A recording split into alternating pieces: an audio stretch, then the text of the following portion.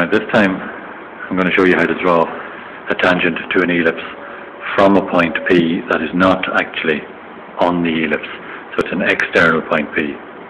So here again we have just the ellipse and the focal points, which you should draw automatically after drawing an ellipse. It's the very next thing you should find. Whether you're asked for them or not, you're going to need them. So we've just got F1 and F2 and an external point. So the first thing I've done here is drawn an arc from the point P, which is radius point P, F1. So I put the point of the compass in point P, extended it out as far as F1, and drawn that arc.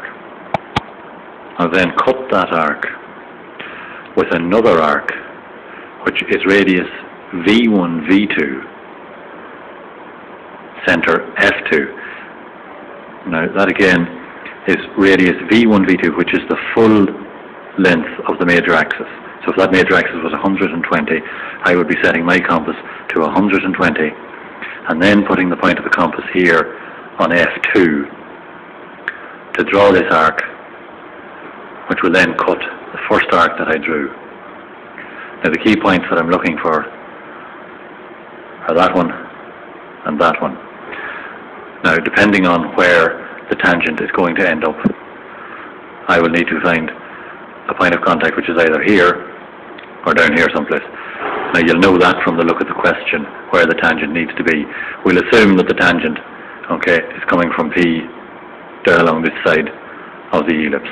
So what we're going to do in that event is join this key point back to F2. In other words, from this point back to the far focal point, the focal point that's furthest away from where you're working. So I've just done that now.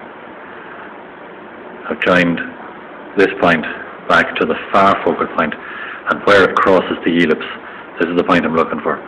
Point Q is the point of contact between this tangent that I'm going to draw and the yellow ellipse.